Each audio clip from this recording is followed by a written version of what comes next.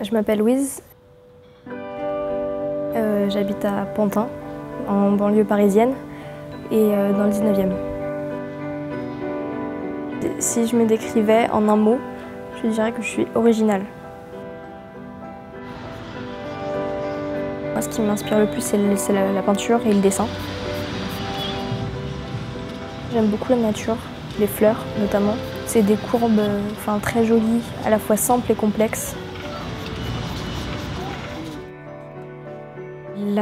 Qui m'inspire le plus, je pense que c'est Frida Kahlo. Euh, parce que euh, dans sa souffrance, elle a, fait des choses très très belles et très très fortes. Et euh, enfin voilà.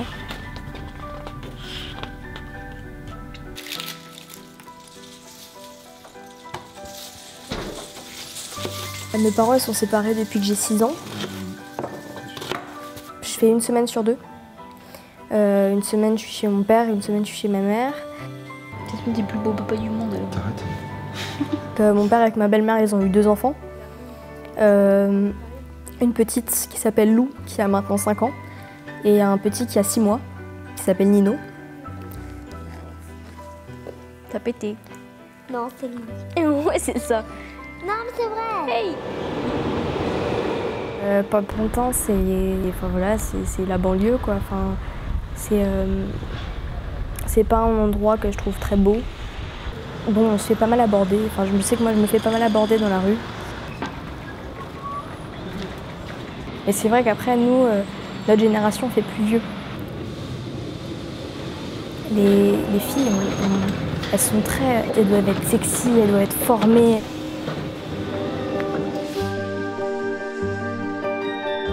Euh, J'ai des copines ou des copains. On passe du temps dans Paris. Euh, on se balade un peu, euh, mais on se voit surtout chez, les uns et les autres. C'est-à-dire qu'on se voit dans des soirées où, euh, et puis on se regarde un film, on parle. Enfin voilà, juste on profite du moment. Enfin voilà, on fait rien de spécial.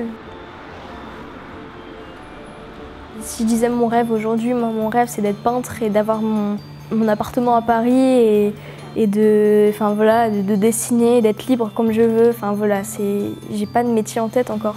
Et euh, j'ai, mais de toute façon, il va falloir que je mange. Donc euh, il va, c'est bien beau les rêves, mais il y a aussi la réalité.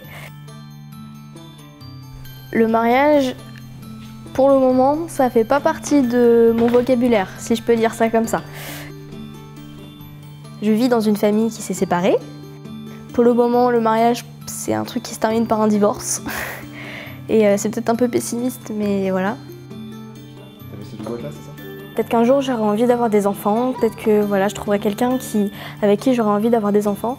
Mais quand je vois l'actualité, quand je vois tout ce qui se passe, quand je vois euh, tout à l'heure à la radio, enfin voilà, l'attaque, euh, l'attaque d'un centre de santé au Yémen, quand je vois Daesh, quand je vois tout ça, quand je vois le monde qui s'écroule, enfin le monde qui, je me dis mais pourquoi faire des enfants pour qu'ils vivent dans un monde comme ça?